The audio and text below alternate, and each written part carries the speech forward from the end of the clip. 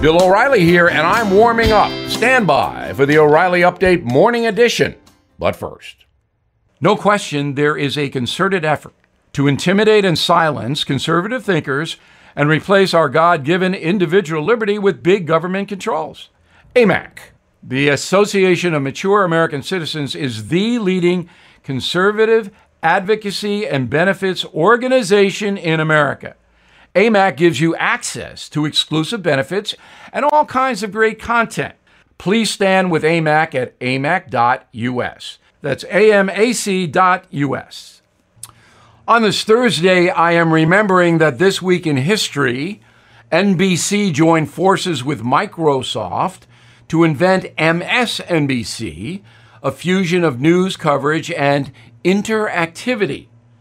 It did not work.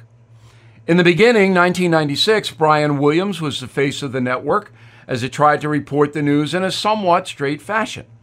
The culture of NBC, like its counterparts at ABC and CBS, was socially liberal but not radical.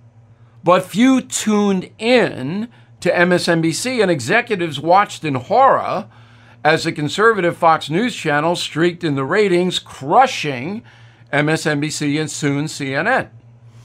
I was up against Chris Matthews in the late 1990s at 8 p.m. The factor prevailed by a wide margin. That's when NBC executives decided to forsake journalism completely on its cable arm. Today, MSNBC is steeped in left wing propaganda and allows rank hatred to be displayed. In prime time, the average audience is 1.8 million, paltry in a country where 125 million homes have TV. There's no question that MSNBC has damaged the brand of NBC News, giving a relatively fair guy like NBC News anchor Lester Holt a major obstacle to overcome. Dissent is good for the country, hatred is not. And a lot of that is on MSNBC. Back after this. Many timeshare owners are very upset because their yearly dues have nearly doubled. Well, Lone Star will guarantee the release of all liability to your timeshare in writing and in a specific time frame.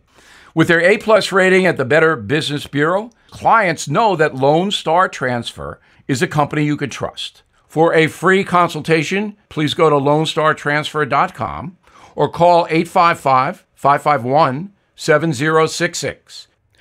That is the Morning O'Reilly Update. More analysis later on.